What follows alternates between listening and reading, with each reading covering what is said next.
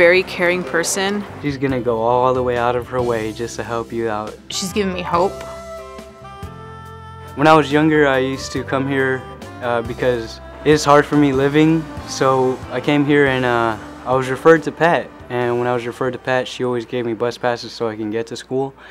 It was just the hard fact that I was um, in and out of places, like it's hard to live. I met her a few years ago, several years ago, and it was during a time where my um, I was, we were going through difficult times, and she really helped us a lot. Being homeless, not having transportation, trying to provide for my children.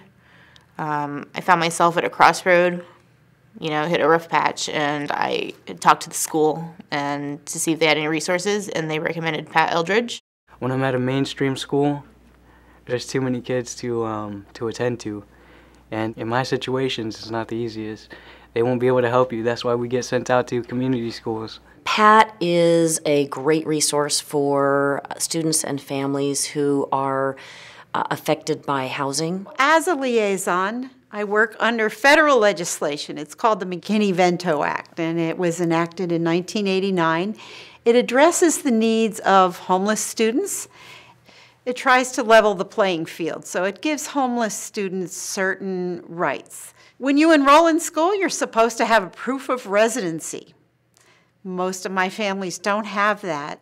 I make sure that they can get enrolled in school, that they have a way to get to school. We have a lot of resources in this area in terms of shelters, but it's not enough to address the needs of the community we live in. Because of the cost of housing, it's precluding people from, from living here. They cannot make a living here on minimum wage. They just they can't raise a family here. So um, people are moving out of the district. Whenever I'm working with someone, a student or a family, and I know, okay, this is a Pat. When she comes in the room, it's just like, okay, we can, we're going to do this.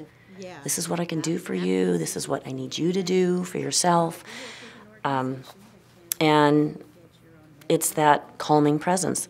Pat is just an amazing woman. I mean, she never judges. She told me Friday, you're resilient, you know, you're doing what you need to do. And that gave me a, a speck of hope, you know, that, hey, maybe I'm doing the right thing. There's students who have a lot of other things going on in their life, and so sometimes they can't be in school. I was supposed to graduate, but I left a year because I had to go into construction to feed myself. She helped me visualize a future for myself, and she really brought hope in me um, to kind of pursue a career in engineering because um, I love math, and that's where I see myself in the future. So, thanks to her, I have that image and that dream. So education is uh, is key. It, it'll actually help me out because uh, when I graduate, my boss will give me a raise that will um, possibly help me and my family get into a place together because we're all separated. We don't live together. I live by myself. I've honestly never met a person like her that's really paid attention to me and my family and in our our situation that we've been through. And she's she's always had an you know an ear to like listen.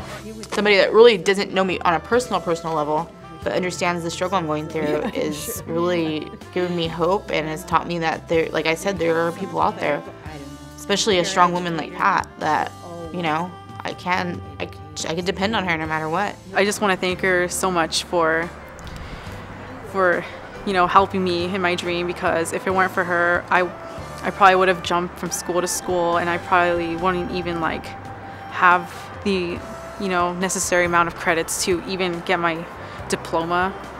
And she she's a big reason why I've accomplished what I have accomplished